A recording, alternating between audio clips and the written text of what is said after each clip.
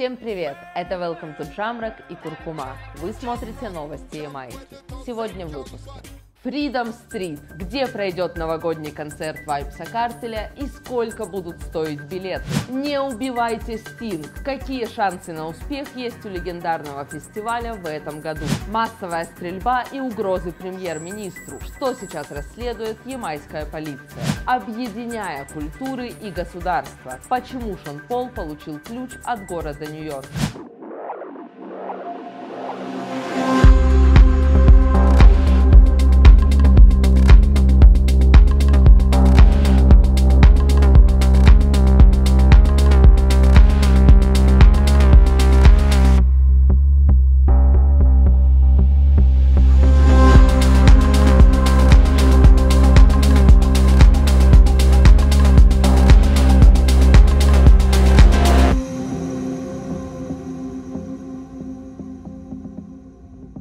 Прежде чем мы начнем, хочу поблагодарить тех, кто не забывает поддерживать наш канал, регулярно оставляет комментарии и делает репосты. Ну и, конечно, отдельное спасибо тем, кто присылает Джамраку донат. Чем больше поддержки мы будем получать от вас, тем больше крутого контента сможем сделать.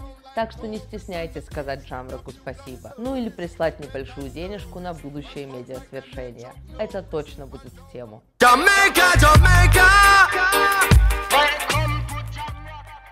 Ну а теперь срочно к главной новости этой недели. И вновь она касается Вайпса Картеля. 26 августа артист объявил название своего долгожданного новогоднего концерта. Шоу получило имя Freedom Street. Также были названы место проведения мероприятия и дата поступления билетов в продажу. Концерт, организацией которого занимается компания Down Sound Entertainment, состоится на национальном стадионе в Кингстоне. Его вместимость, как известно, 40 тысяч человек. Однако в недавнем интервью Картель заявил, что ожидает не менее 200 тысяч зрителей на своем шоу. Артист предполагает, что 100 тысяч будет находиться непосредственно на стадионе и еще 100 за его пределами. В одном из посвященных грядущему шоу постов в социальных сетях Vibes пообещал, что это событие точно войдет в историю. Также он пояснил, что Freedom Street это больше, чем просто название. По словам артиста, это целое движение, заявление или даже декларация о том, что World возвращается на свой трон.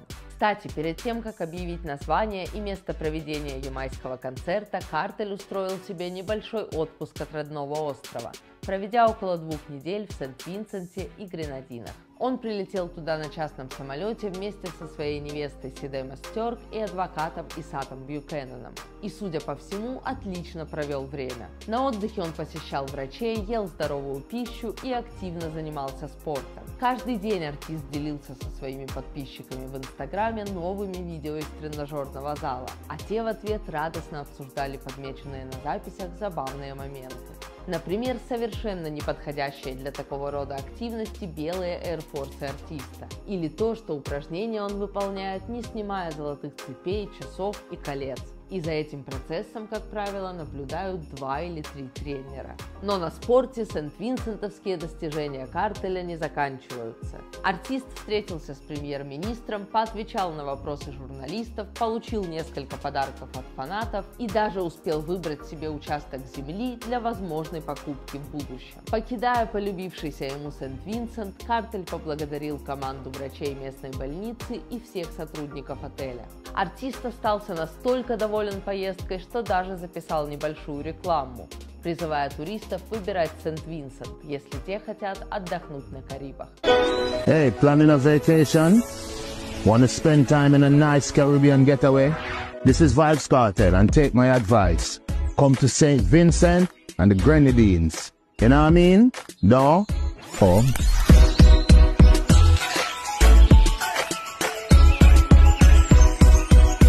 Я уж грешным делом начала думать, что и первый концерт он тоже перенесет в свой любимый Сент-Винсент – но музыкальных планов артиста поездка не нарушила. Вернувшись на Ямайку, Картель практически сразу порадовал фанатов подробностями о грядущем шоу.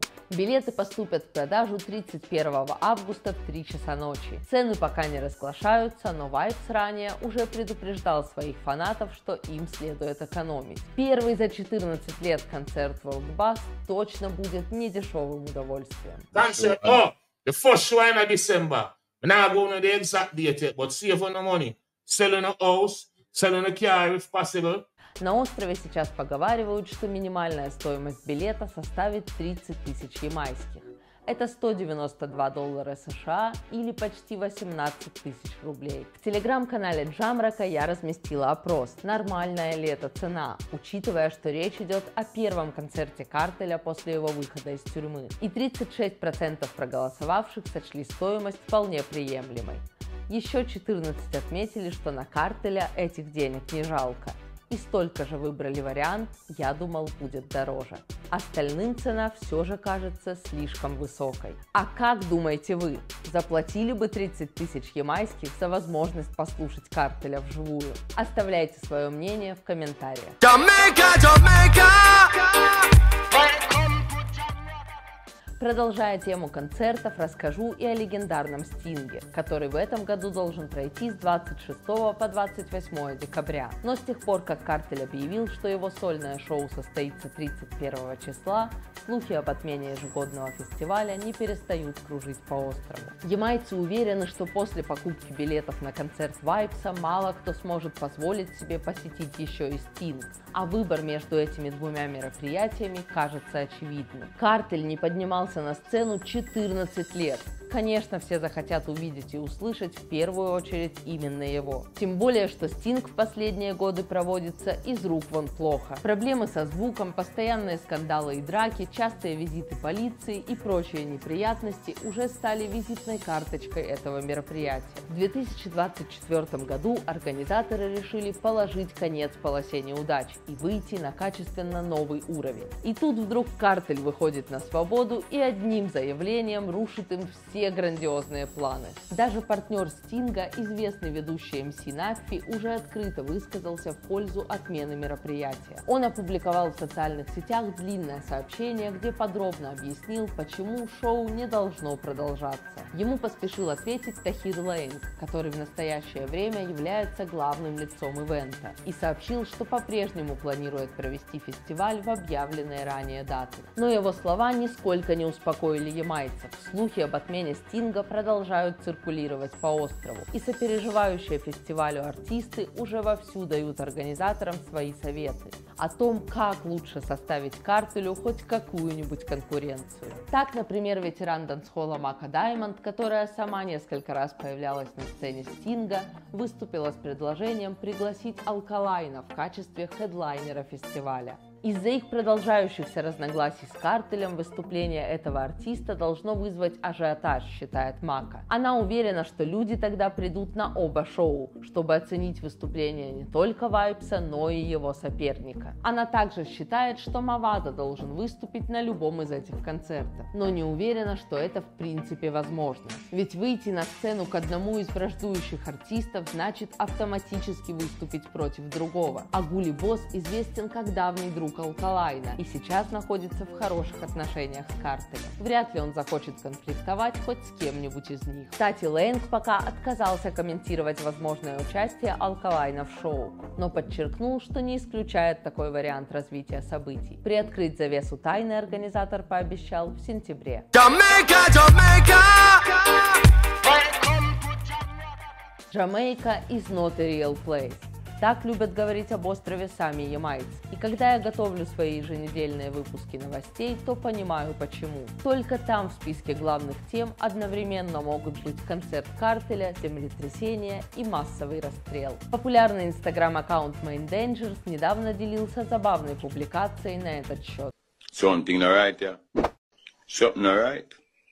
Но оставим шутки в стороне, ведь на прошлой неделе на Ямайке был зарегистрирован новый случай массовой стрельбы. 21 августа в Сент-Кэтрин на поминках по бабушке рейки и дансхолл исполнителя Криса Мартина неизвестный вооруженный мужчина открыл огонь по присутствовавшим, а затем скрылся с места происшествия.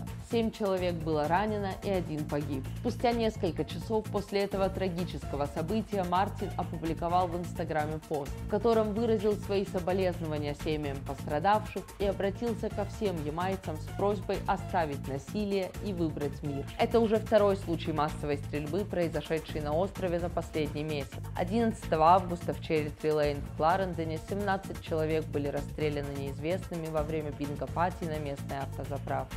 Восемь из них, включая семилетнего мальчика, погибли. Остальные получили серьезные ранения. Этот инцидент вызвал большой резонанс на Ямайке. Власти тут же объявили случившееся террористическим актом, и в Кларендоне было установлено чрезвычайное положение. А премьер-министр Эндрю Холнес незамедлительно нанес визит в пострадавшую общину и пообещал скорбящим жителям, что не успокоится, пока виновные не будут наказаны. They must either meet a judge Вскоре в сети появилось видео, на котором неизвестный в маске уничижительно отзывался о Холнесе и угрожал премьеру и его супруге убийством. Сейчас полиция продолжает расследование массовых расстрелов и угроз в адрес премьера. В связи с инцидентом в Черри Три Лейн задержано уже более пяти человек. С недавней стрельбой в Сент-Кэтрин власти это происшествие пока не связывают. Jamaica, Jamaica. Ну а теперь давайте вернемся к позитивным новостям и поздравим Шона Пола. 24 августа ему вручили символический ключ от города Нью-Йорка. Артист был удостоен этой чести во время одного из концертов третьей ежегодной серии мероприятий Rise Up New York City. Это общегородская инициатива, в рамках которой этим летом в пяти районах Нью-Йорка проходили бесплатные выступления от популярных артистов на открытом воздухе. Одно из них было от Шона Пола.